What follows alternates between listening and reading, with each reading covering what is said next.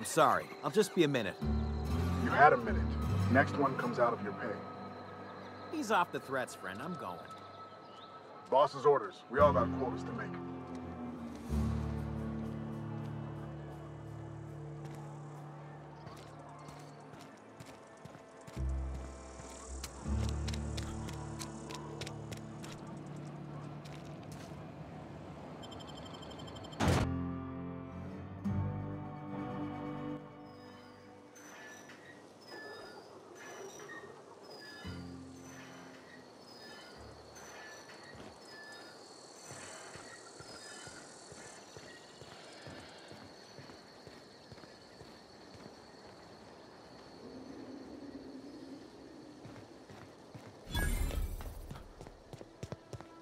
When I was little, we'd get freighters in every Sunday noon.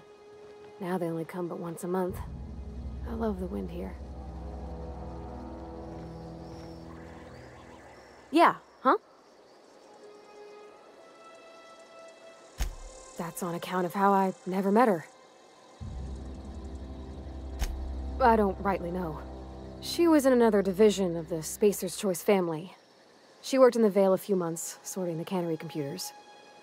Her contract said any kids she had, expected or not, belonged to her office from the time of conception. So when I was born, I got sent here. Well, I don't know about normal. Dad said she worked under some kind of special contract. It's sensible. Dad just fixed machines. She did some kind of crazy math, high-level stuff. Better to raise me on his time than hers.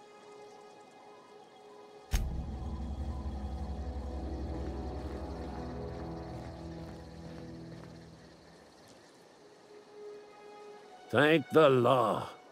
I've been requisitioning backup for months. Guess the boss finally came to his senses. You ever swung a truncheon? Let me see your rifling stance.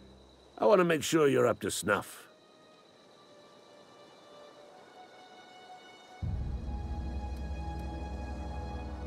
I told Silas I'd pay my dues if he agreed to join the Resistance. Guess this means he's finally heard the calling. The war! The coming apocalypse! Man versus machine! I'm talking about mechanical soldier. Cold, heartless automatons made of iron and lies.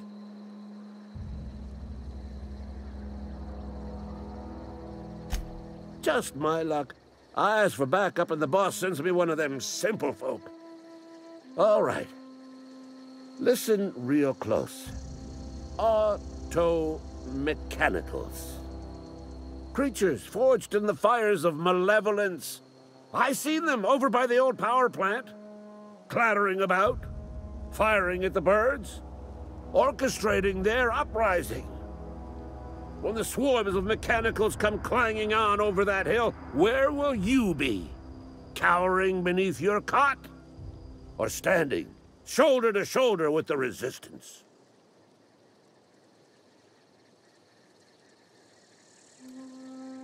Go on. I'm Ludwig Miller, Associate Security Officer for Transportation. Officially? Unofficially? Strictly between you and me. I am the only thing standing between Edgewater and total annihilation. I've been gathering up a war chest over the years. Saltuna cans, mostly, some Spacer's Chaw few bit cards. I'll reward you for your aid. Enlistment fees. Yeah, I suppose. Wouldn't want to give the Resistance a bad name. They have sent a scout, prowling around the junkyard just behind our beloved town. This scout must not be permitted to return to its base of operations. Cross it off, then report back.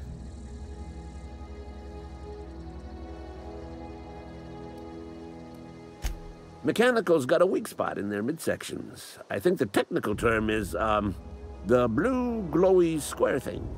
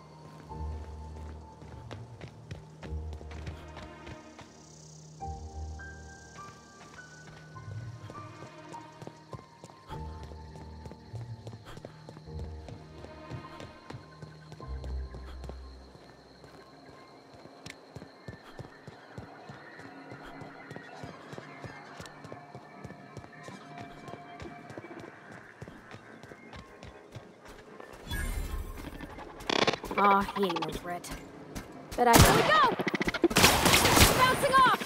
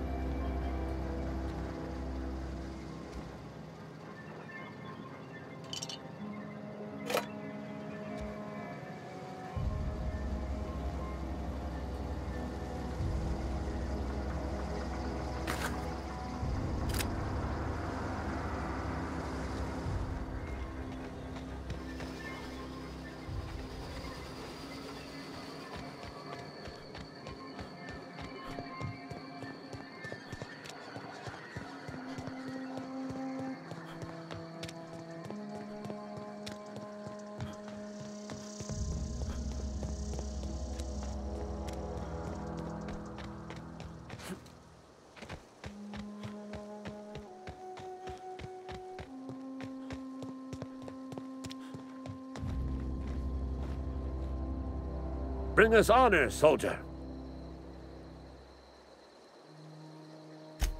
You beat that scout to scrap with its own legs? Pulled its optic cables out its head case? Actually, don't tell me. Rather use my imagination. You're a passing fair soldier, I will confess. But you are one, and the enemy is legion. What you need is an equalizer, a weapon to strike fear in their cold, mechanical hearts. Cantina, lavatory, behind one of the toilets. That's where I've kept it hidden all these years. Sharp, ain't it? The lavatory is the very last place a mechanical has need to enter. On the double, soldier. Don't want the bartender poking around in there with a mop. Go on. You ever seen the way a mechanical just stands there? Just looking at you, scanning you with its murderous oculars.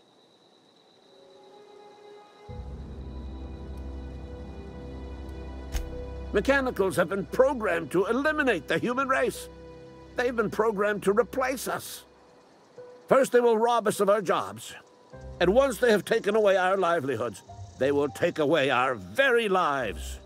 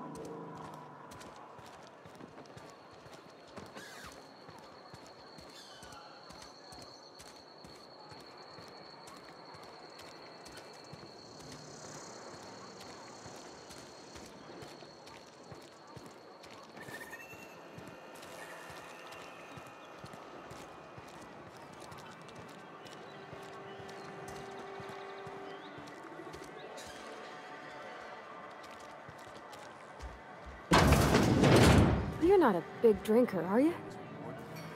Only the part that said we ain't making our quotas. If only McDevitt's folk hadn't abandoned us. Cannery could use those extra hands. Nothing hmm? we can do about that. Sure there is. We can have another zero G.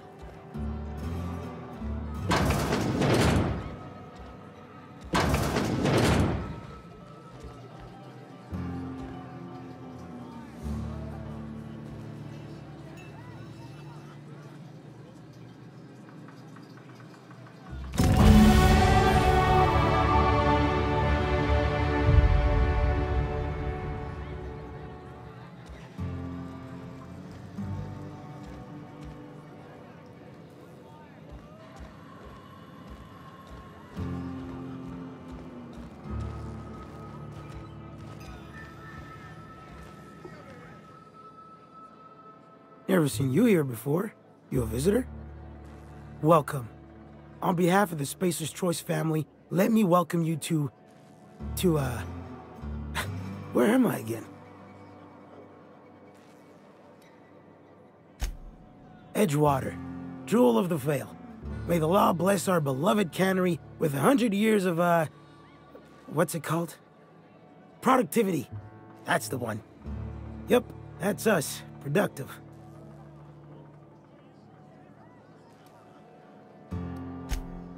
Oh, it's fine. I I'm only on my third bottle. I don't start heaving up my guts as long as I can count to three. Company lets me imbibe as much zero-G brew as I can afford. Even gave me a discount on account of my injury.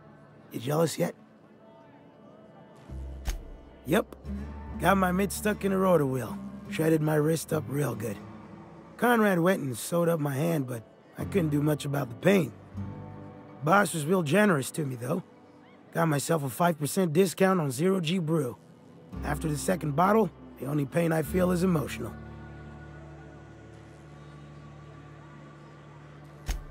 Oh, you can say that again.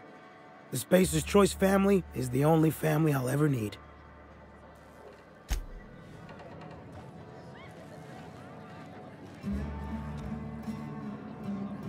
I don't know you.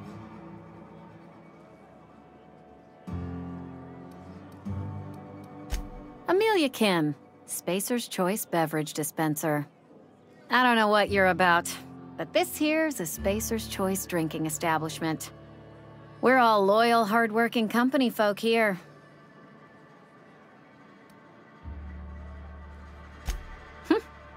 Am I that easy to read? Yeah, we've been having some problems lately. Loyalty issues, lines in the sand. I know where folk in Edgewater stand. But you, I don't know you. If you're gonna have a drink, I'd like to ask that you do it within the premises. Can't have you taking drinks over to those deserters. Coming right up.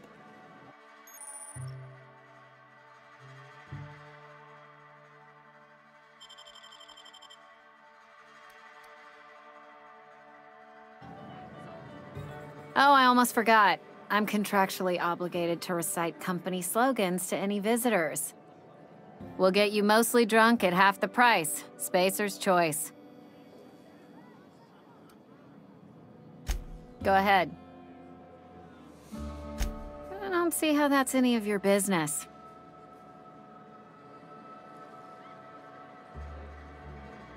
You're the first to ask after me in some time. I'll give you that. But I don't have a story to share.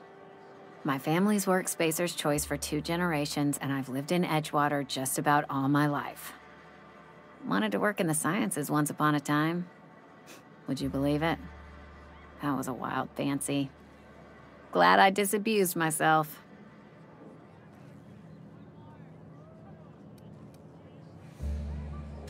What happened, you ask? What always happens when you're dreaming? I woke up. I just didn't have the brains for it. Asked too many questions. Wasn't suited to the work. So I did the right thing and worked the life I was always meant to live. Now that I'm behind a bar, I can ask all the questions I want. Important ones. Like when are you gonna pay your tab? And would you like another round of cold, refreshing Zero G?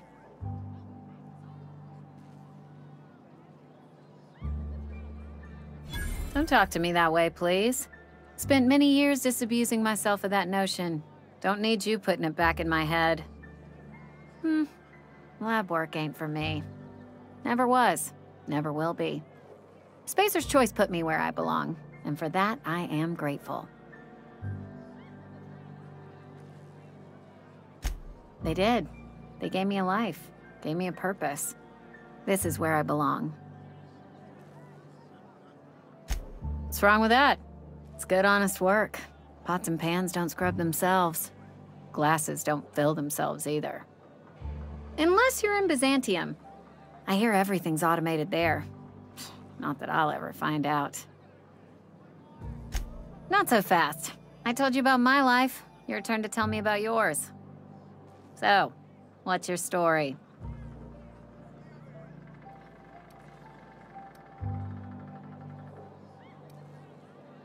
What's there to figure out? Stands to reason you work for a company. You ain't Spacer's choice. Could be you're with Auntie Cleo.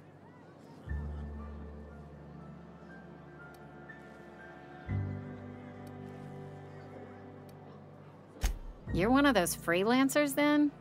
Running about Halcyon, selling off your loyalties to the highest bidder? Well, good luck trying to figure yourself out. Sounds like you'll need it. Ugh, is this the start of a joke? If you want me to laugh at your jokes, it's a three drink minimum.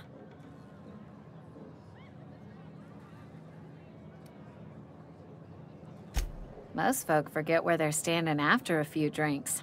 Seems to me you've got a head start. Anyhow, whatever happens outside the walls is not my business. Only deserters and marauders wander out there, and I cannot tell you which I revile more. My world is these four walls, that door, and a row of mugs that need cleaning. Let me make something clear. Spacer's Choice has been real good to me.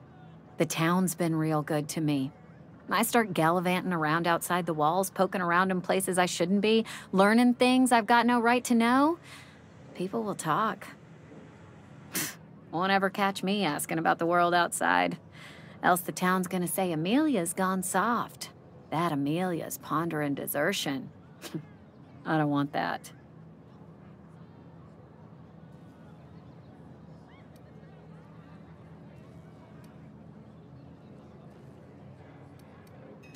There you go with that thinking again.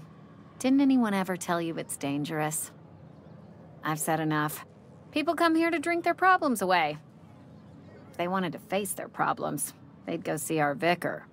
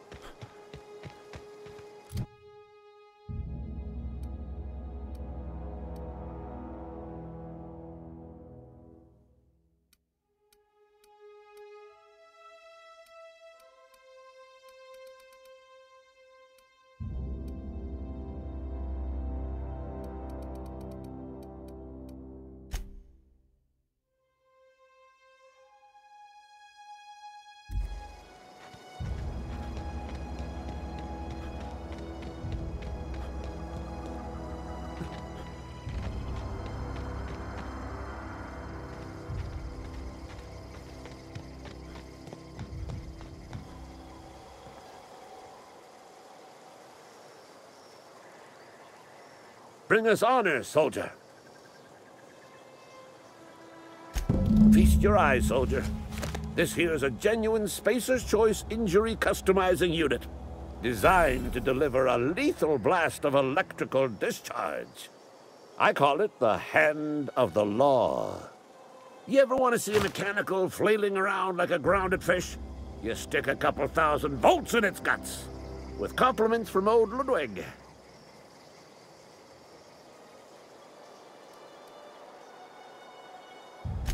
There's a workbench right through this door. Attach that unit to your favorite weapon and go forth into glorious battle. Time's come for you to journey down into the black heart of the enemy's camp. I'm talking about the old geothermal plant. Unfortunately, the old plant lies outside my board-given jurisdiction. You'll need to get a passcode from the boss, Reed Tobson.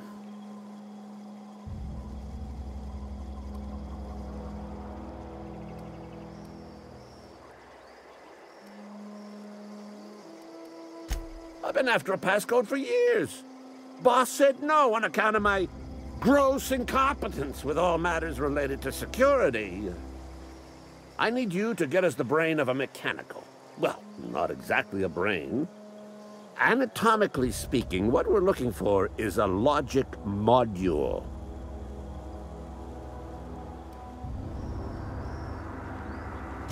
There's the rub.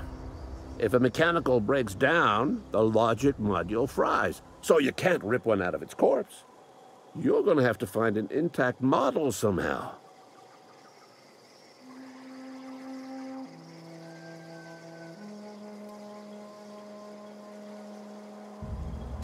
I don't reckon so.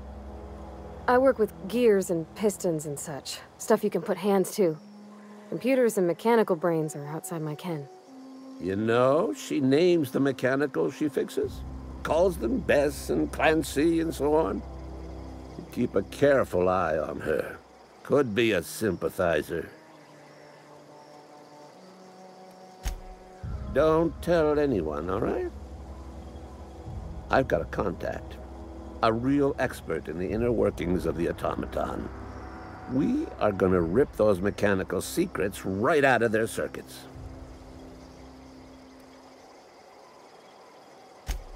Well, excuse me.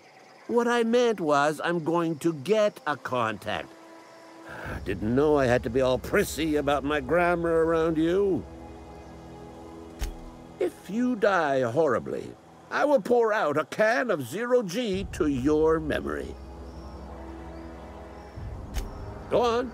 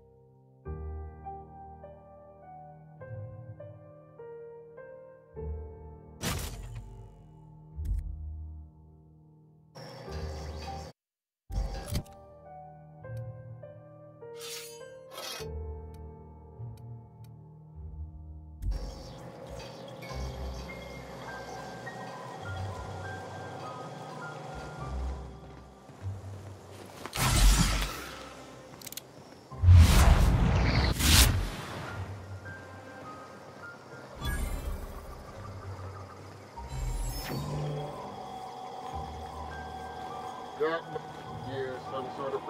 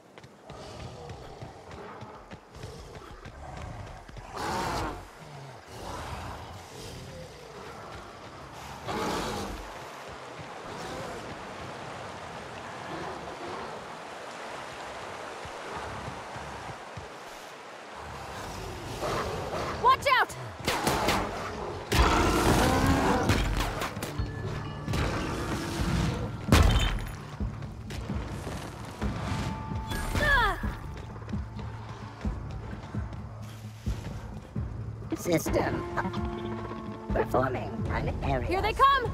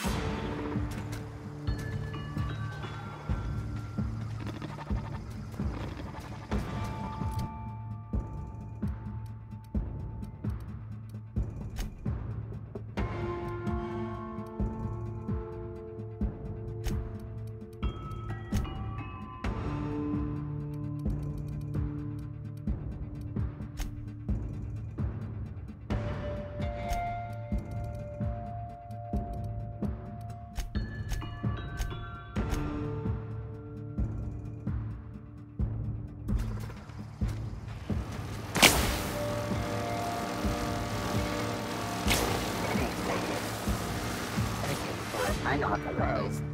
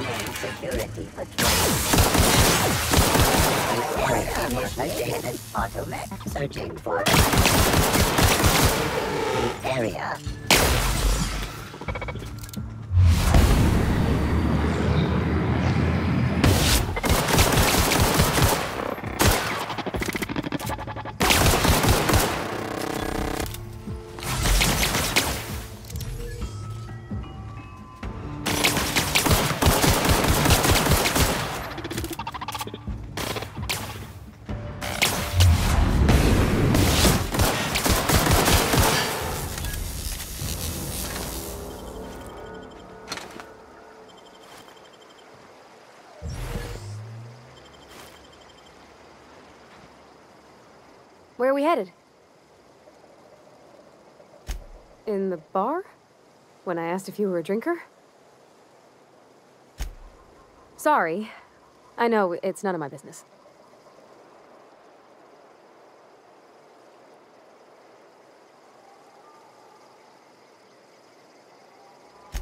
It's not like I think it a failing, mind. It's just I... I live right across the road. Most nights I watch folks out my window. When they come in here, they might be happy or sad. Mostly they're tired. When they leave, they're mad at themselves. Or they stumble into the alley and I listen to their hearts breaking.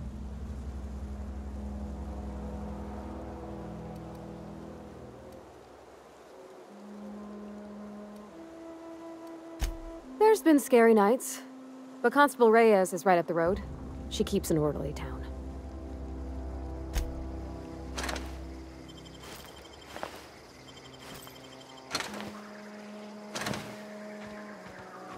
Wanted to poke around in here.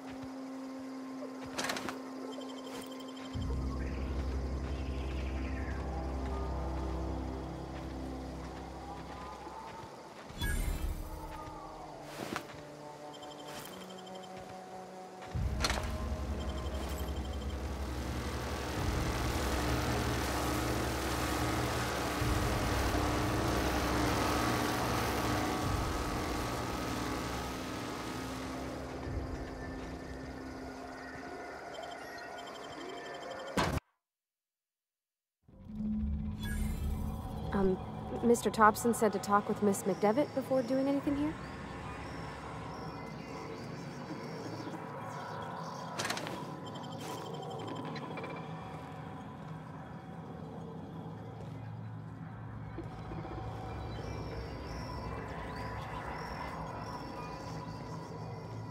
Where are we headed?